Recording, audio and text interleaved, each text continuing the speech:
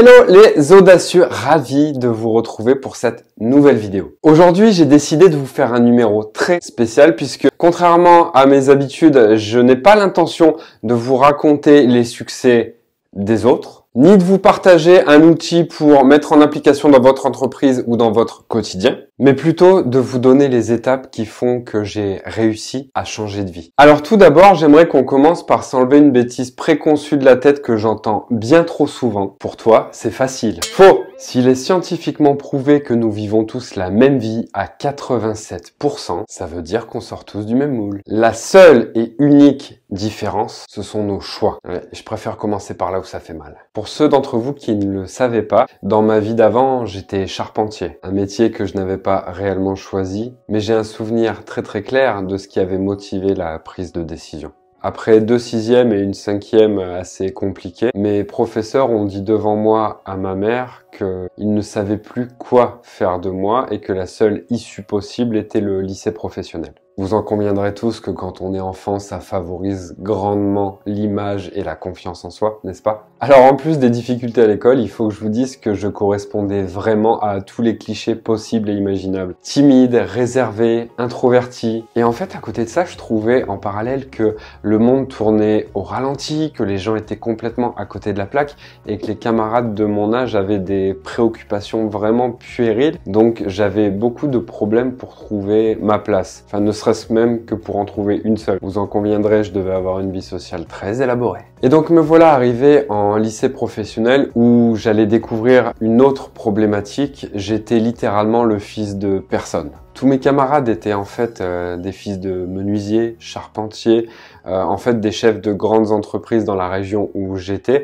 et moi j'étais le fils d'une assistante dentaire. Quand on connaît la méchanceté dont font preuve les enfants, je vous laisse encore une fois imaginer comment ça devait se passer. Et donc j'ai passé une quatrième, une troisième, une seconde et une première euh, en BEP à endosser le rôle d'un enfant un petit peu malmené, mais intérieurement à avoir une volonté de faire, à vouloir faire ma place et vouloir faire mes preuves. Ce qui fait qu'en fait, je ne me suis pas rendu compte que sur ma dernière année de BEP CAP, j'étais devenu meilleur que mes camarades et ce sont eux qui venaient me voir en fait pour me demander des solutions, de me demander de les aider à accomplir différentes tâches. Fin 2003, j'obtiens mon BEP et mon CAP avec mention et je reçois un coup de fil du préfet des Hautes-Alpes qui m'indique en fait que j'ai obtenu les meilleurs résultats de l'académie et euh, il y avait une cérémonie en fait en mon honneur euh, pour me récompenser dans mon domaine avec d'autres élèves qui s'étaient illustrés dans leur discipline. De 2003 à 2005, même si j'ai pas changé, euh, j'ai pris mon cursus scolaire pour un club de vacances et je n'ai littéralement rien fait. J'ai eu mon bac pro les doigts dans le nez. Et il s'avère en fait que j'ai découvert une autre facette des humains. Je ne savais pas encore si je voulais vraiment continuer euh, le lycée ou euh, si je voulais commencer à travailler, mais en fait la réponse est venue me chercher d'elle-même. Je revois euh, ma mère rentrer dans, dans ma chambre vous savez, avec ce fameux air de j'ai un truc à te dire. Et donc, euh, globalement, elle me dit tu as eu ton bac, c'est bien, maintenant j'aimerais que tu participes. Il s'avère que j'avais déjà très bien compris la demande, mais comme j'ai un talent assez particulier pour jouer à l'imbécile, je lui ai posé cette question. Je fais ton ménage, je sors ton chien, je fais ta vaisselle, je fais littéralement toutes les tâches chez toi, qu'est-ce que qu'est-ce qui manque? Et elle me regarde tout simplement en faisant ce geste-là une riche idée de mon beau-père de l'époque qui pensait qu'il allait avoir un Tanguy à la maison. Alors ni une ni deux, et un petit peu fier, parce que c'est quand même important d'avoir un peu de fierté et un peu d'ego, hein. Je lui ai demandé de me laisser 24 heures, sans chercher à comprendre pourquoi. Elle a accepté et est revenue le lendemain dans ma chambre à la même heure. J'étais tout simplement en train de faire ma valise puisqu'en 24 heures, j'avais réussi à trouver une colocation avec des amis et mon premier emploi. Je crois maintenant pouvoir dire que ça a été ma première action vraiment audacieuse. Comme quoi, vous voyez, de temps en temps, avec un petit stimulant, un, petit quelque chose qui vous met un coup de pied aux fesses, vous pouvez accomplir de grandes choses. Et donc me voici lancé dans la vie active euh, de cette façon. Je suis devenu charpentier. J'ai exercé ce métier pendant plus de dix ans. Un très beau métier, un métier noble, un métier difficile mais passionnant. Et au bout de dix ans, à tomber sur des employeurs scrupuleux, on va pas se mentir. J'ai littéralement pété un plomb. À l'époque, on ne le nommait pas, mais aujourd'hui, on appelle ça un burn-out. Le contexte est, est, assez passionnant puisque je suis quelqu'un de très observateur et en arrivant sur le chantier le matin, mon chef me dit, voilà, on a une journée pour faire tout ça. Ok. Sauf que j'avais remarqué qu'une journée c'était pas possible. Et je lui en fais part. Pas d'accord, il me dit, on y arrivera. Parfait. 20h, le soleil couché, on y était encore et on était extrêmement loin d'avoir fini.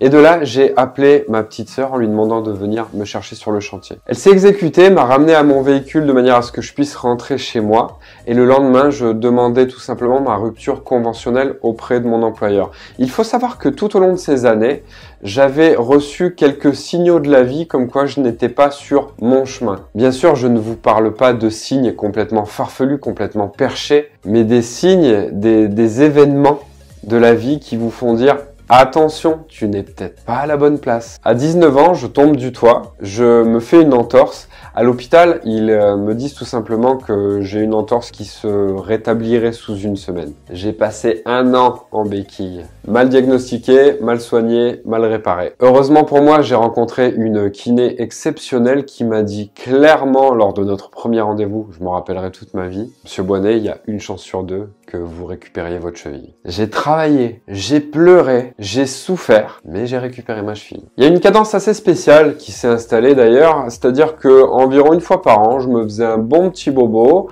et je ne voyais toujours pas le message. Il a fallu donc que ces messages montent en puissance, en intensité. C'était, je crois, à 24 ans. Je suis sur un chantier dans une usine où euh, on faisait différents travaux et je passe tout simplement au mauvais endroit au mauvais moment. Une poutre en acier se détache de plusieurs mètres au-dessus de ma tête et il s'avère que le bruit de ce décrochement m'a permis de lever la tête et vous le voyez ici, j'ai encore une cicatrice euh, le fait d'avoir levé la tête m'a littéralement sauvé la vie. Vous allez me dire, il y a les casques de chantier. Oui, mais non. Si j'avais eu le casque de chantier ou si je n'avais pas levé la tête, la poutre aurait euh, littéralement enfoncé ma tête dans mes épaules et je ne serais plus là pour en parler.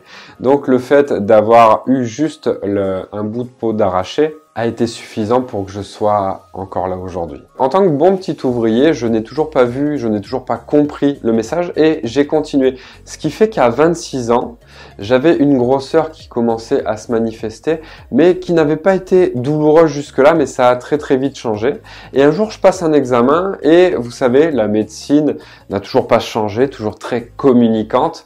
Je ressors de là et ouvre mes résultats et le verdict ressemblait tout simplement à une vraie douche froide. Tumeur veineuse, métastasée, stade 2, en progression de 2 cm et demi. Et là, je te garantis que ton monde s'écroule. Alors, peu importe le contexte, je pense que là, on a tous besoin de réconfort dans ces cas-là, et je fais le choix d'appeler ma mère, qui, je pense, a été un petit peu dépassée par cette annonce et me dit tout simplement Oh, c'est rien, mon fils. Je fais donc le choix de traverser cette expérience tout seul, car vous l'avez compris, le soutien n'était pas vraiment présent. Je me fais opérer et sorti de là, en fait, tout simplement, il y a une pensée qui me traverse. Plus jamais, plus jamais je ne subirai ma vie. Je conviens donc d'une euh, rupture conventionnelle avec mon employeur et je décide tant bien que mal d'aller me faire aider. Et quand on ne connaît rien à tout ce qui existe en termes d'accompagnement, on s'oriente sur les choses les plus basiques dont on ait entendu parler. Et dans mon cas, c'était une psy,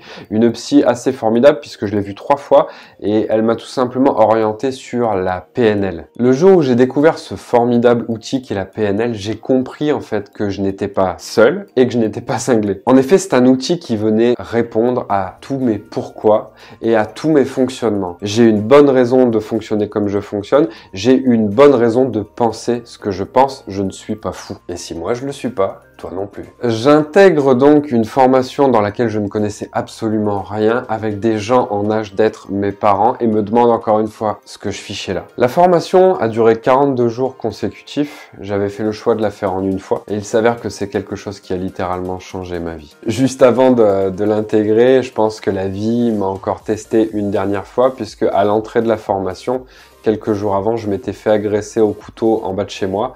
Euh, C'était, je pense, juste pour être sûr que je ne reviendrai pas en arrière. Et donc transporté de cette expérience, de cette formation, je décide en fait de m'immatriculer en tant qu'auto-entrepreneur et de me lancer car ça a été littéralement une révélation pour moi. De là démarre une réelle transformation interne, un changement de croyance des croyances limitantes que je transforme en croyances aidantes, une transformation de ma vision du monde, un monde qui devient plus grand, qui offre beaucoup plus de possibilités. Sans réfléchir, je me lance avec ma petite sœur sur un défi incroyable pour moi, pour une personne qui a le vertige et le mal des transports. Je me lance dans l'idée insoupçonnée de faire un saut en parachute. Ça peut paraître bête, ça peut paraître anodin, mais pour moi, faire un saut en parachute, c'était inimaginable. La peur, la peur très prédominante, m'a toujours empêché d'oser faire beaucoup de choses, m'a tout simplement en fait empêché d'oser être moi-même. Et ce saut en parachute,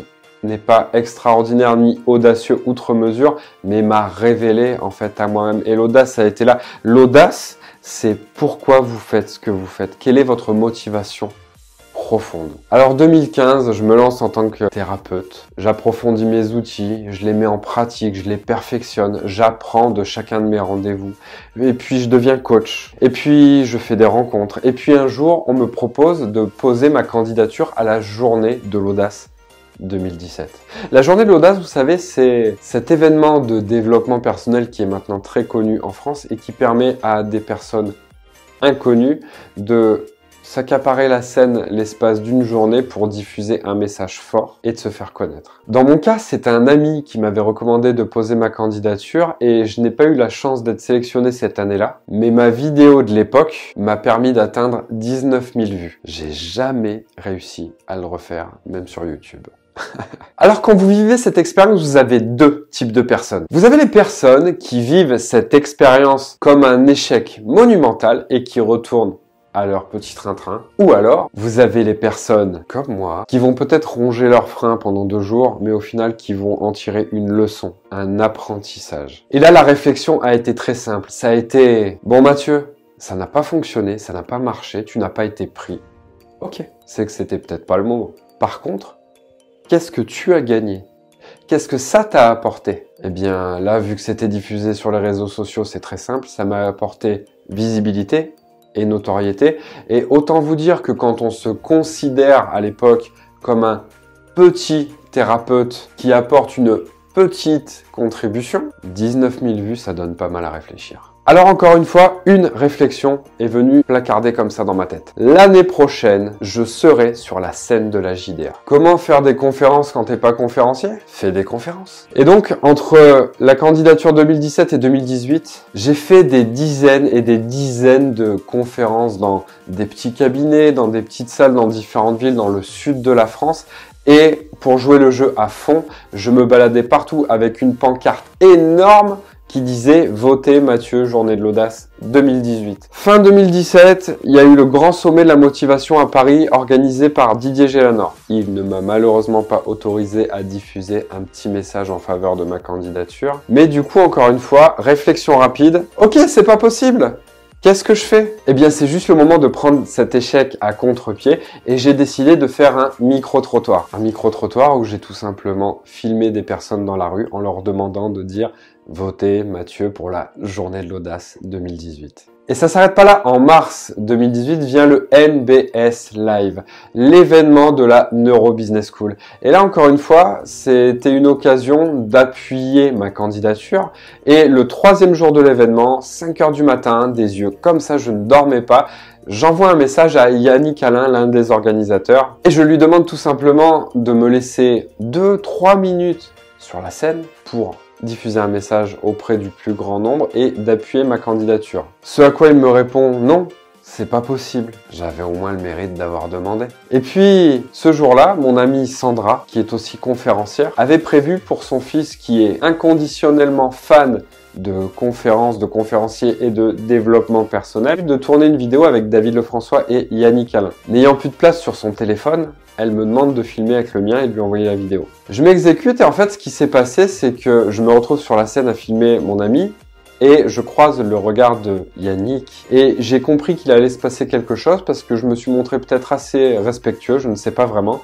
Et en retournant à ma place, j'entends soudainement mon nom appelé au micro. Et je vous promets que je me suis retourné pour être sûr qu'il ne s'agissait pas d'une autre personne. Ce qui s'est passé, c'est que j'ai eu l'occasion de vivre un moment incroyable sur cette scène entouré de gens connus et respectés dans leur domaine, ce qui m'a bien évidemment apporté, encore une fois, beaucoup de visibilité, une beaucoup plus grande notoriété professionnelle et qui m'a permis de franchir un stade supplémentaire. Courant 2018, je fais donc la JDA, tout se passe relativement bien. Et je continue mon petit bonhomme de chemin, je commence à développer ma chaîne YouTube, je commence à faire des contacts. Et courant 2019, Michel Poulard, un conférencier professionnel international que j'avais rencontré déjà longtemps auparavant sur d'autres événements, me téléphone un dimanche. Et là, je vous garantis que c'est le genre de coup de fil qui finit de vous asseoir, puisque euh, ce monsieur a largement fait ses preuves. C'est un professionnel reconnu, c'est un homme extraordinaire, généreux, passionné, passionnant, que j'aime énormément et pour qui j'aurai toujours la plus profonde gratitude. Et il me dit tout simplement, Mathieu, ça fait un moment qu'on se connaît. Ce que tu ne sais pas, c'est que ça fait un moment que je suis ton travail. Et j'aimerais être la personne qui t'aide à réussir. J'aimerais que tu intègres mon école. Et là, je ne vous dis pas le vote de confiance. Waouh. Entre temps, j'ai écrit mon livre. J'ai intégré sa formation. Au début, je ne comprenais pas ce qu'il avait perçu en moi. Et lors de la semaine en immersion, en fait, j'ai compris. J'ai compris que malgré, encore une fois, que j'étais le plus jeune, j'étais à ma place. J'avais les capacités, j'avais le talent nécessaire pour être ici. En développant un petit peu le syndrome du bon élève, j'ai mis en application tout ce que Michel a pu euh, apporter. Ce qui fait que deux jours après ma prestation au Grand Rex à Paris. J'avais déjà mes premiers clients. Aujourd'hui, j'ai été euh, sollicité encore par cette agence de conférenciers. J'ai été sollicité par des entreprises comme Coca-Cola. Ça bouge énormément. En fait, vous voyez, j'ai tout simplement envie de vous dire que c'est possible. C'est possible pour vous, comme ça l'a été pour moi. Je vous rappelle qu'au départ, je suis charpentier. J'ai même été soudeur aussi. Souvenez-vous, quelle est la différence entre toutes les personnes qui vivent une vie similaire? Les choix que vous faites. Vous voulez que je vous donne une astuce pour faire des choix plus facilement? Prenez un papier et un crayon et faites deux colonnes. D'abord, dans la première colonne, vous mettez tout ce que vous avez à perdre. Et dans la suivante, vous mettez tout ce que vous avez à gagner. Et s'il y a plus de choses dans la colonne de ce que vous avez à gagner, vous n'avez plus d'excuses. La plus grande difficulté, que ce soit en développement personnel ou professionnel, c'est ce qu'on appellera le premier pas. La première chose que l'on va mettre en action. Pourquoi? Parce qu'on est envahi par la peur. Mais comme on dit, la peur n'exclut pas le danger. Et si la peur, c'était simplement un message d'alerte interne qui vous dit attention, tu vas entamer quelque chose qui te tient potentiellement à cœur. Et on est des humains quand ça nous tient à cœur, on a bien évidemment envie que ça marche. Mais est-ce qu'il vaut mieux être envahi par le regret d'avoir agi ou le regret de pas avoir essayé? Alors voilà, j'espère que cette vidéo vous aura donné matière à réfléchir. Vous aurez évidemment plus d'informations dans mon livre avec des astuces, avec plus de détails, plus de comment j'ai fait, qu'est-ce que j'ai mis en action pour changer les choses. Je vous invite vivement à vous le procurer. Pensez bien sûr à vous abonner à la chaîne YouTube et à partager les vidéos autour de vous. Et sur ce, les audacieux, je vous dis à la prochaine.